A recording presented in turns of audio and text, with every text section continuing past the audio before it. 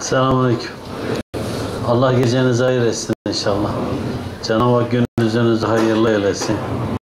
Ayınızı, yılınızı, ömrünüzü hayırlı eylesin inşallah. Perşembe günü yaptığımız bu ders ya da mahallede yapılan ders o günkü virt yerine geçer mi? Evet. Bir yerde yapın bir ders yapıldıysa o ders o günkü virdin yerine geçer. Anneannem hastanede yatıyor. Hastanenin lavabosunda abdest alsa olur mu?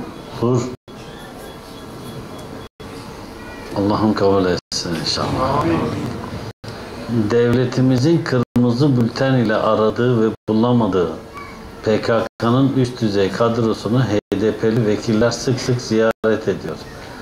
Devletimiz nasıl bilemez, neden yargılayıp gereğini yapmıyorlar? Her gün şehit verirken. Belki bizleri de bir yerlerde dinleyen devlet büyüklerimiz vardır. Onlar da dinlesin. Hakkınızı helal edin. Bunlar uluslararası hukukla alakalı. Sonuçta o üst düzey terör yöneticileri Irak'talar. Oraya kara operasyonu yapmak gerekir. Kara operasyonu da yapılırsa herhalde büyük sıkıntılar yaşar. Cenab-ı Hak bu ülkeyi, bu milleti daha da güçlendirsin, kuvvetlendirsin. İnşallah Osmanlı İmparatorluğu'nun sınırlarına yeniden onlar bize ilhak olurlar. Bu problemler biter. Yoksa başka türlü bitmez. Bu işin başka türlü de biteceği yok zaten. O yüzden Osmanlı'nın neredeyse sınırları, sınırları çizilecek. Herkes barışa kavuşacak. Dünyada barışa kavuşacak. Şu anda dünyada da normallik yok. O yüzden inşallah bunlar doğum sancısı niyetine olsun. Amin. Ayasofya Camii neden ibadete açılmıyor? Henüz daha tam hür değiliz.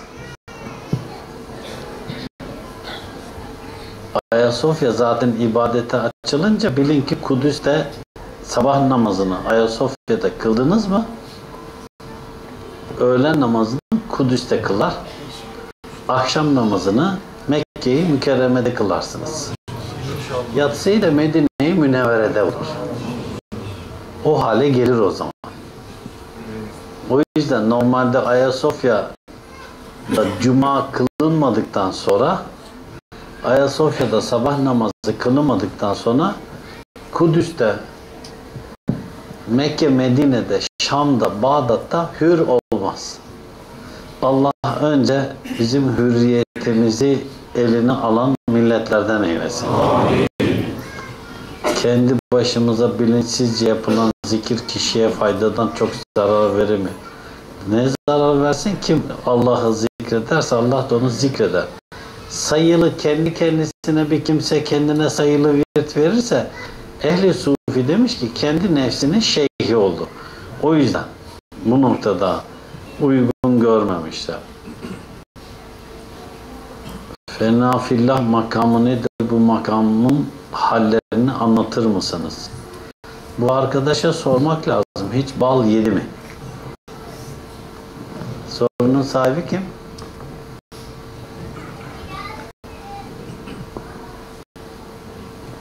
Bal yedin mi hiç?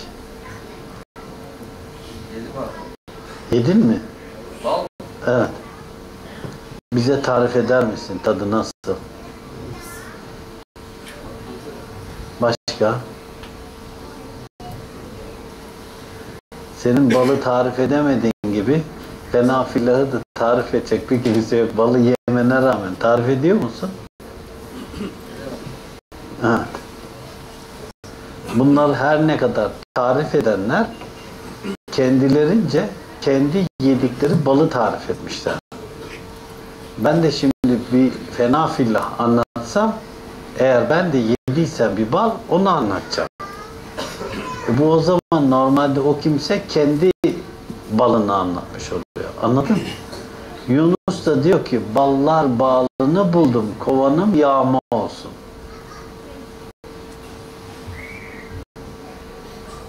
Fena fillah ballar bağını bulmak için bir basamak. Bu o basamağı bilenler o basamağı geçemiyorlar. Akılları önde geliyor. Ya da bildiğin şey aldatıyor onu. Kitaplarda edebiyat olarak var. Ama derviş kardeşinde fani olamayan bir kimse fena fillah anlatsak ne olacak ki? Dün gece rüyasında bir dervişin sıkıntısını gören var mı?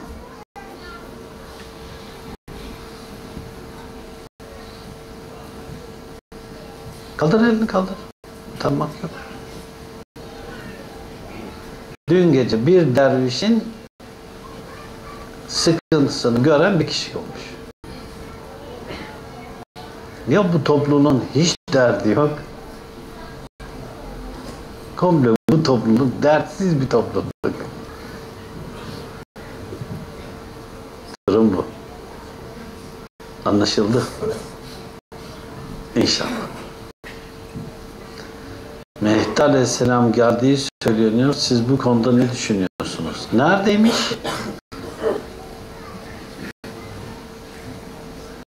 Soru kimin?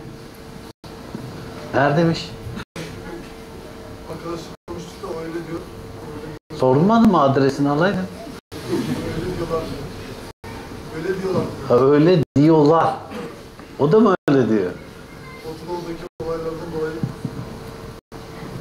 İnşallah öyle diyorlarsa inşallah yakındır geleceği demek ki. Çıktı mı diyorlar. O zaman çıktı diyene sormak lazım. Adres ver, konum atsın da bize gidelim bizden. Ciddiyim bu konuda. Ben çünkü dinle, İslam'la 86'da tanıştım. 86'dan beri Mehdi var. Bazen birisi çıkıyor, Mehdi, ben Mehdi'yim diyor. Ha çıktı, ha çıkacak. Ha çıktı, ha çıkacak. 86, 96, 2006, 2016. 30 yıl olmuş. Bana da çok diyorlardı da öyle. Mehdi çıkmış diyorlar ne diyeceksin diye. Onlar da uğraşmaktan bıktım artık. Şimdi adres soruyorum. Neredeymiş söyleyin gidelim diyorum yanına. Tabii eğer Mehdi'yim diyen varsa cemaat halinde komple benim arkamdan gelirsiniz değil mi hep beraber? Tamam. En güzel yol bu. Mehdi'yim diyene 2000 kişiyle 3000 kişi, 5000 kişi kaç kişi ise gideceğiz biat etmeye geldik sana diyeceğiz. Oturacağız orada başlayacağız zikrullah. Öyle ya. Ben birine de değilim öyle. Şeyhim diyorsan dedim, bütün Bursa'dan arkadaşlar toplayayım hepsini dedim. Benim biat ettiğim yere biat ederler dedim. Biat edelim hep beraber otobüslerle gelsinler dedim. Hep beraber biat edelim. Bir türlü ben şeyhim demedim. Benden sonra ben şeyhim demiş ama ben benim yanımda demedim. Tamam o arkadaşa söyle. De ki bizde bir tane kafası kırık birisi var da normal değil de Mehdi kim diyorsa ben Mehdi'yim diye biz komple gideceğiz oraya çörekleneceğiz. Çıkmış nasıl olsa Mehdi nereye istiyorsa oraya götürsün bizi. Biat edeceğiz Mehdi'ye biat etmek çünkü ahir zamanın kendi içerisindeki farzlarından birisi. Anladın? Biz o Mehdi zuhur edince Mehdi zuhur ederse Müslümanların Mehdi'ye biat etmeleri farz olur. O yüzden o ben Mehdi'yim diyen kimse o biatları kabul edecek. Anladınız mı? Biat kabul etmenin Türkiye Cumhuriyeti Devleti hukukuna göre cezası kaç yıl biliyor musunuz? 9 yıldan başlıyor. İndirdiler mi? Avukatlar geldi mi? Gelmediler mi? Afyon'dan gelmedi mi avukatlar? Onlara da ikide bir de soruyorum ya kaç yıldan başlıyor diye. Yoksa o yüzden mi gelmediler biz de gideceğiz diye. Allah iyi etsin inşallah. Mevlana Hazretleri çoğu şiir ve beytlerinde hep Şems-i Tebrizi'den bahseder. Peygamberimizden bile daha az bahseder. Bunun nedeni nedir? Acaba Şems'te Allah ve peygamber aşkını mı bulmuştur? Bu soruyu soran kim? Şeyi okudun mu hiç Mesnevi'yi baştan sona? Mesnevi'yi baştan sona okursan Mesnevi'de yaklaşık 6000'in üzerinde hadis-i şerif var. 4000'in üzerinde ayet-i kerime var.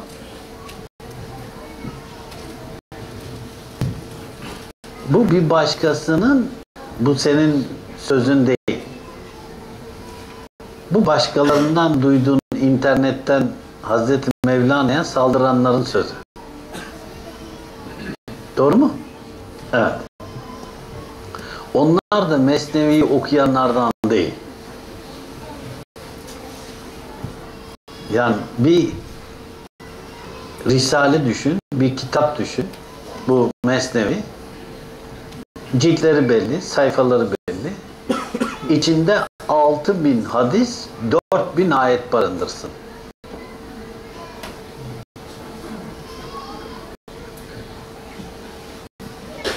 Anlaşıldı? Evet.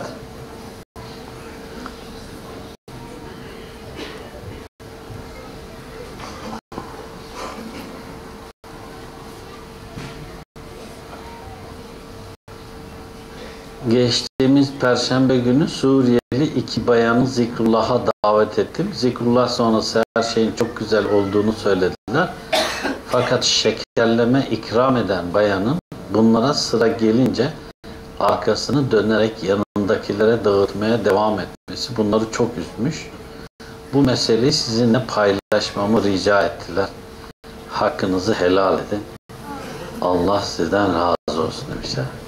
Helal olsun. O Suriyeli kardeşlere bu soruyu gönderen bizatihi benden selam göndersin ve özürlerimi iletsin benim. Bu ikramı dağıtan vazifeli kardeş bunu kasıtlı yaptıysa ondan onlardan defalarca defalarca defalarca özür dilerim. Ama yok kasıtlı yapmadıysa onlardan yine de özür. Bu yapan, hatayı yapan kardeş adına özür dilerim. Bize haklarını helal etsinler inşallah. Bunlar bir sufi dergahında olmaması gereken çiğlikler. Bu bir çiğlik. Hatta bir sufi dergahına bir misafir geldiyse ona ayrıca ihtimam gösterilir. O misafirdir çünkü. O yeni gelmiştir. O misafir hükmünde olduğundan ona ayrı bir özellik, ayrı bir ihtimam gösterilmesi gerekir. İkram ederken, ona bir şey sunulurken, orada bir ikram dağıtılırken, orada bir çay dağıtılırken, orada bir şey dağıtılırken ayrıca, ayrıca daha hususi bir manada onunla ilgilenilmesi gerekir. Şuradan sağdan arkaya doğru ilerleyin. Kalkın şuradan ileri doğru. Geçin bu tarafa doğru.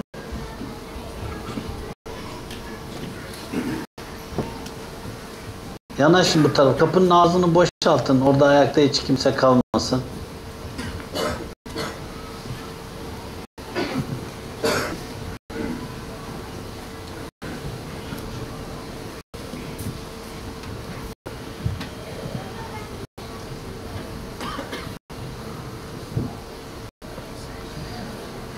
Abdest alırken ayak parmaklarımızı alttan yukarıya doğru hilallememiz gerekiyor mu? İmam-ı Azam alttan hilallememizin doğru olduğunu öğrenince 40 yıllık abdestini iade ediyor.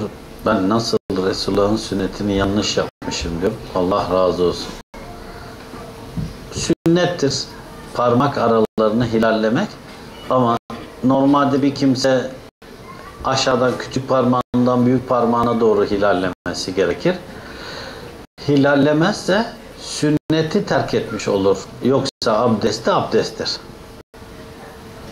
Rukiye ayetleri hakkında bilgi verir misiniz?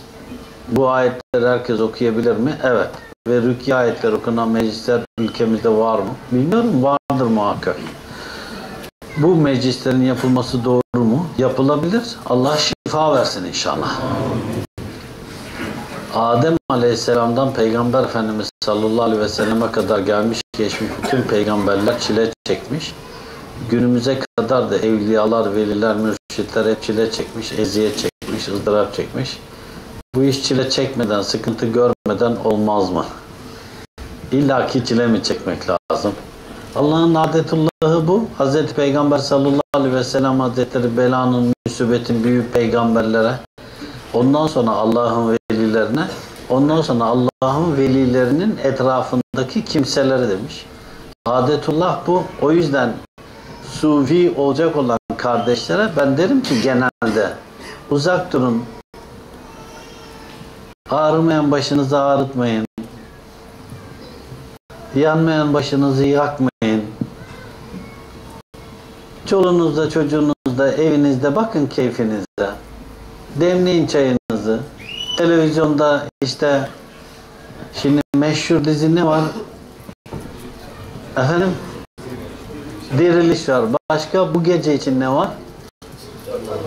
Kurtlar Vadisi. Oo.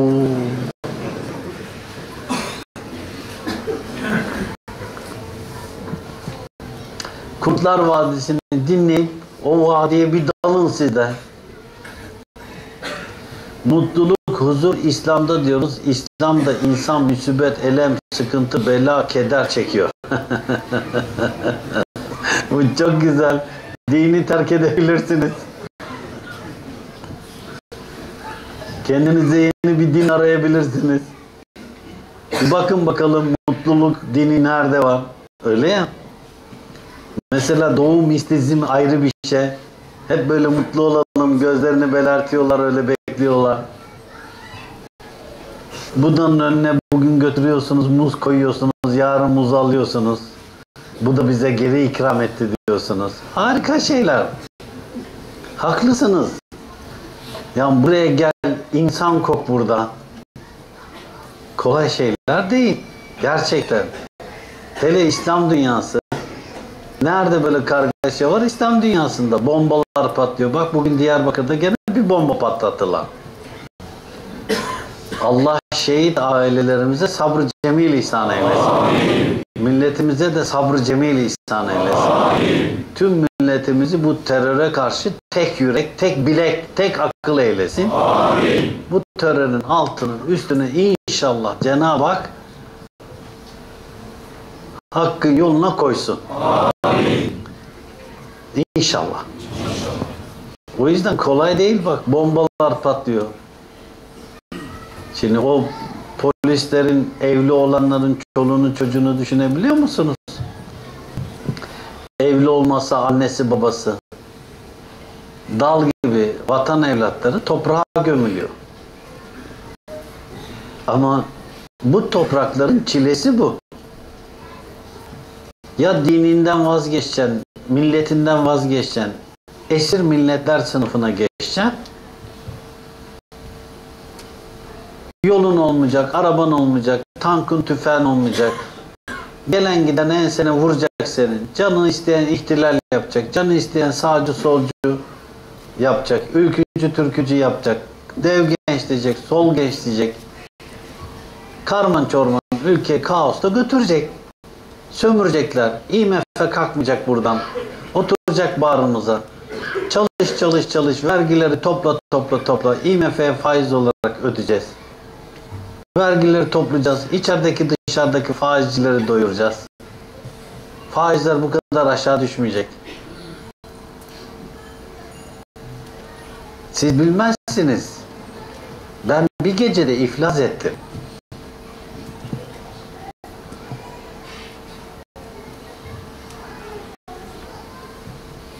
Ben böyle televizyondan izlerken sabah oldu.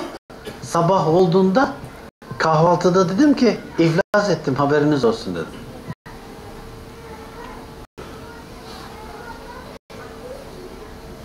Siz bilmiyorsunuz bunları. Gençler bilmiyorlar. Tabii. 300 milyar olan borcum 1 trilyona çıktı bir gecede. Bir gece bir gece iki gece değil. İki gece değil bir gece. Şimdi ben yaştakiler, ben yaştan yukarıda olanlar böyle hani gençlere bakıyorlar da böyle diyorlar bunlar bilmiyorlar. Neden? E siz bir gecede iflas etmediniz. Bir gecede paranız pul olmadı. Ertesi gün intihar edenleri bilmiyorsunuz. Çoluğunun çocuğunun dağılanları bilmiyorsunuz. Eşinden ayrılıp boşananları bilmiyorsunuz. Bilmiyor kimse. Ardından bir de 28 Şubat. Oh! ikinci iflas. Bilmiyorsunuz bunları. E ama hep de bunlar İslam dünyasında var. Doğru. Ama 150 yıl öncesine gitmiyorsunuz. Biz çünkü bunu unuttuk. Bize okullarda, lisede, ortaokulda, ilkokulda 150 yıl önce ne kadar kötü bir yönetim olduğunu söylediler bize. Abdülhamit Han'ı biz Kızıl Sultan olarak tanıdık. Abdülhamit Han'ı Kızıl Sultan olarak ilan edenler bugün aynı şekilde vazifelerini yerine getiriyorlar yine. Abdülhamit Han'ın yıkılmasına sebep olan dindar entelektüeller altını çizin. Abdülhamit Han'ın yıkılmasına sebep olan dindar entelektüeller bugün de bu devletin yıkılmasına sebep olacak dindar entelektüeller işlerine devam ediyorlar.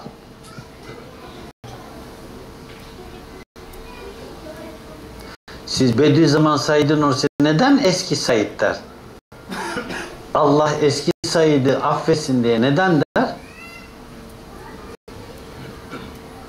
Çünkü Bediüzzaman Said Nursi Abdülhamit Han'ın yıkılmasını için mücadele edenlerden.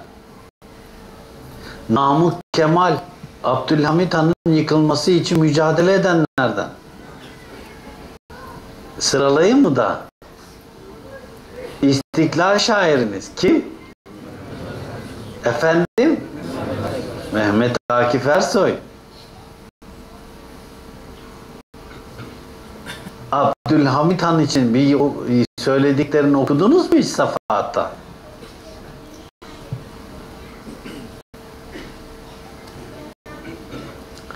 Okumayız biz. Biz Mehmet Akif'in son dönemini tanıyoruz.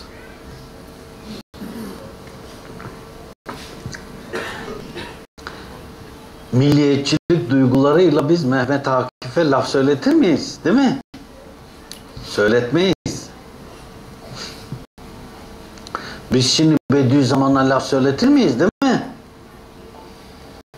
Söyletmeyiz. Bunlar Abdülhamit Han'ın yıkılması için uğraşan o günün İslami entelektüelleri. Siz bugüne zeki insanlarsınız. Bugüne çağrıştırırsınız onları. Resmi tamamlarsınız. Söyledikleri şey şu. Abdülhamit Han diktatör. Abdülhamit Han firavun. Yezid. Aslında dinsiz. Evet açın okuyun. Sakalları böyle kızılımsı olduğundan Kızıl Sultan. Diktatör. devleti diktatörlükle idare eden kimse, demokrasiyi ayaklar altına alan, hukuku ayaklar altına alan kimse, meclis çoğunluğu gayrimüslimlerin elinde olduğu için meclisi kapatan Abdülhamit Han.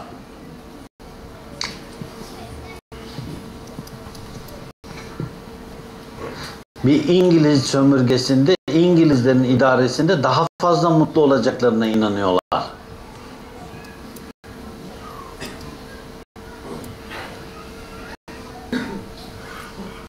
İttihat ve terakkici hepsi de. Siz milli şairimizin İttihat ve terakkici olduğunu da bilmezsiniz değil mi?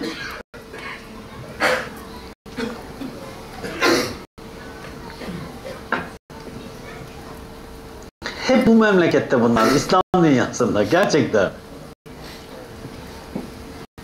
Hainler, dönmeler, vefasızlar. Bu topraklarda. E neden? Hristiyanlar açısından düşünecek olursak haklılar. Onların kutsal mekanları olan Kudüs bizim yolumuzun üzerinde. E buraya önceden de burası Bizans İmparatorluğuymuş. Siz Orta Asya'dan çıkın gelin bir de Müslüman olun. Ondan sonra Anadolu'ya oturun. Olmadı Viyana kapılarına kadar gidin. Ondan sonra size rahat verecekler. Öyle mi? Ya hepiniz Hristiyan olacaksınız ya da hepiniz Orta Doğu'ya döneceksiniz. E Orta Doğu'ya döndünüz yok. Hristiyan olduğunuz da yok. Bir kısmınızı aldılar Avrupa'ya işçi diye. Onlar da orada İslam'ı iyice yaşamaya başladılar. Onlar da dejenerasyona uğramadı. Hatta orada sonradan gelen oradaki Afrikalıları da örgütlediler. Şimdi Avrupa'da bir ton cihatçı Müslüman var.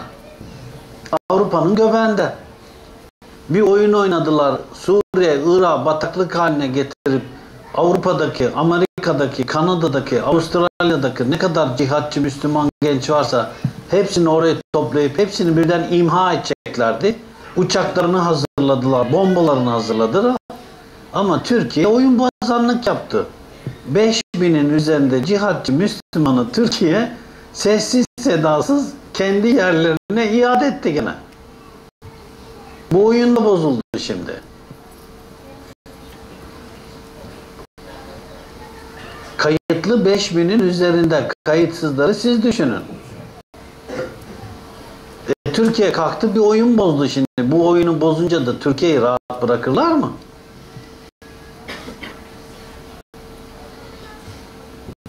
E şimdi kalktı Cumhurbaşkanı da bundan emin ya. Dedi ki terör size de bulaşır. Neden? Kendi biliyor. 5000 tane geri göndermiş.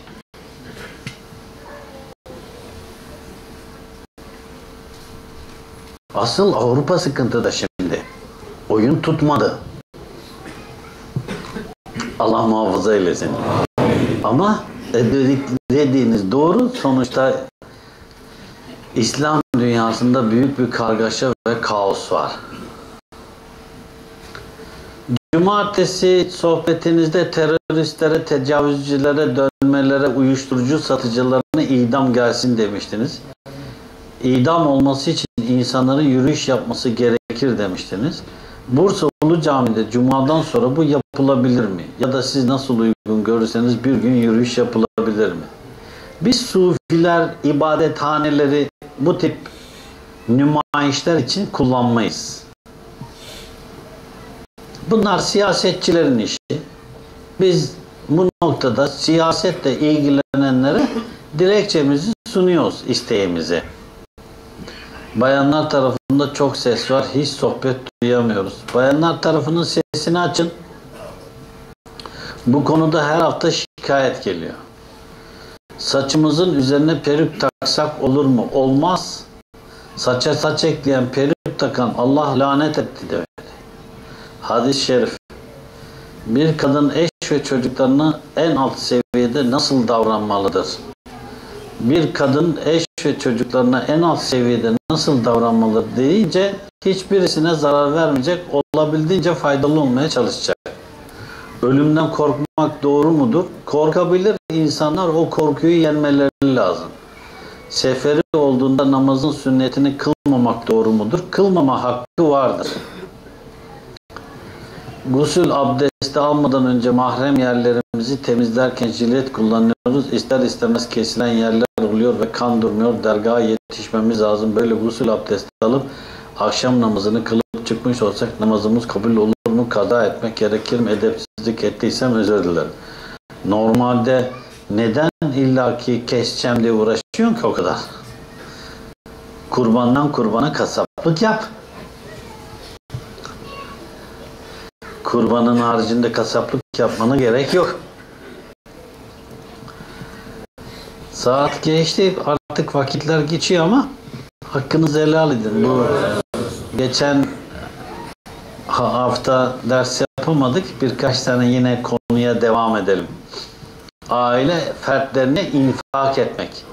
Bir adam karısına su bile içirse sevap kazanır. Bir insan eşine su içirse sevap kazanır. Yani bir erkek su verir misin demeyecek yani. Ne yapacak? Gidecek kendine bir bardak su katacak, bir bardak da eşine verecek. Sevap ya.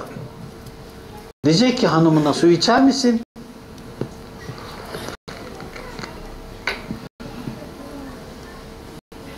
E ben hep baştan söylüyorum bunu sonradan söylediğim bir şey değil. Sufiler iyi birer kılıbık olurlar. Şimdi siz bu akşam evli olanlar evlerinize gittiğinizde eşlerinize birer bardak su ikram edin. Sünneti işlemiş olun. Bir sünnet. Terk edilmiş sünnet. Bizde böyle ataerkil bir şey var ya hanım bir su getir bana. Gençler öyle diyorlardır herhalde değil mi? Biz böyle yaşlanınca diyemez insan ama Hey, İsmail sen diyor musun böyle bana bir su getirin diye? Hiç demedin. İstersen de kapının önünde gör kendini. Yani bir de baba yiğitlik yapıyor. Hiç demedim efendim. Sanki hani diyebilirdi de. Ha, diyemem de. Ya ben diyemem demiyor da hiç demedim efendim. Yani bu ne demek? Bir şey yapmaya muhtedirim ama yapmıyorum. Ne büyük erdemlilik. Demiyor ben diyemem aslında. Ha öyle de. Ah İsmail gittin gene İsmail. Erzurumluluk var ya böyle coşuyor erkeklik yapacak. Hiç demedim efendim. Oy. Ve Hacı Mehmet'in ses çıkıyor mu vakit? Susuyor öyle masum masum. Kim? İçinizde en kılıbık o. Kim Efe? Bakma sen öyle yürürken göğüs ileride yürüyor. Bu babasından kalma o böyle, dedesinden kalma. Nerede? Sen der misin Hacı Mehmet kalk bana su getir diye. He? Bak diyemem diyor. Ne diyecek? Allah iyiliğini versin senin. Bayındırırlar dışarıda efedir, evde kuzudur hepsi de.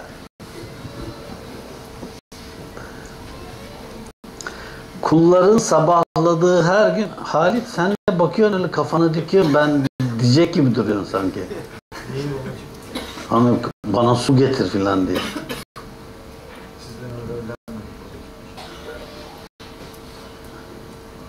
Benden öyle öğrenmedin.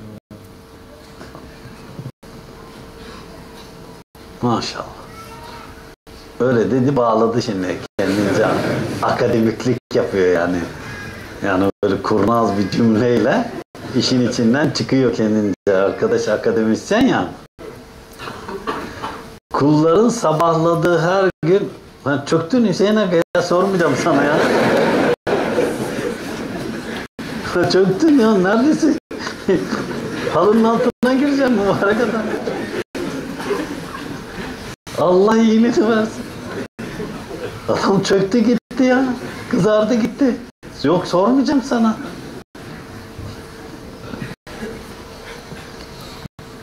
Senin kımıldayacak halin yok zaten. Kulların sabahladığı her gün iki melek iner ve onlardan biri Allah'ım infak edene karşılığını bol bol ver diye dua eder. Diğeri de Allah'ım cimrilik yapana yokluk ver diye beddua eder. Her gün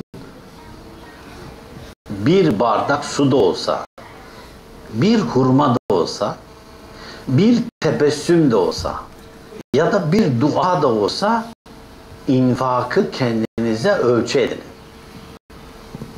Her gün. Ya bir sıkıntıda olan bir kimseye geçmiş olsun deyin, sıkıntısını dinleyin, onun sıkıntısına merhem olmaya çalışın. Bir yokluk çeken bir kimseye bir böyle bir infak etmeye çalışın. Muhakkak. Çocuklarınıza muhakkak günlük böyle bir lira da olsa bir harçlık verin. Bir lira ne olacak ki? Önemli değil. Eşinize az da olsa bir harçlık verin. 3 lira 5 lira mesele değil. İnfak etmiş olun. Çocuk bir çikolata alır onunla. Veya bir çikolata alın gelin eve çocuklarınıza. İnfak etmiş olursunuz. Allah bizi o infak edenlerden eylesin. İnsana günah olarak görüp gözettiği kimseleri ihmal etmesi yeter. Bir kimseye günah olarak gözüp görüp gözettiği kimseleri ihmal etmesi yeter. Evli olanlar eşlerinizi ihmal etmeyin maddi manevi. Maddi manevi. Onların iaşelerini temin edin. Yiyecek içeceklerini temin edin. Cinsel ilişkilerini temin edin. Bir erkek maddi manevi, cinsel olarak, akıl olarak, fizik olarak eşine yetmeli. Eşini bu noktada doldurmalı. Çocuklarına maddi manevi görüp gözetmeli. Eşini görüp gözetmeli. Erkekler anne babalarına bakmakla mükellef. Erkek çocuklar anne ve babalarının ihtiyaçları varsa görüp gözetecekler, infak edecekler. Allah bizi onlardan eylesin inşallah. فَعَلَمَنَّهُ لَا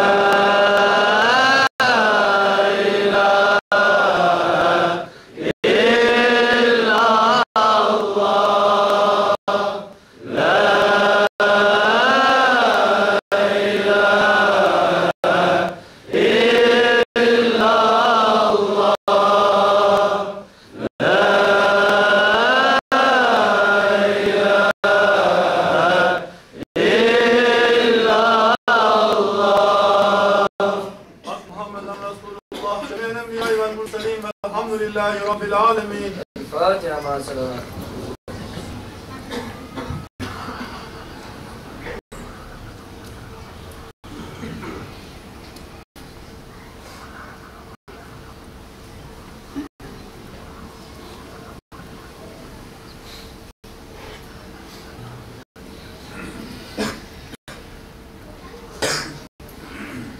Amin.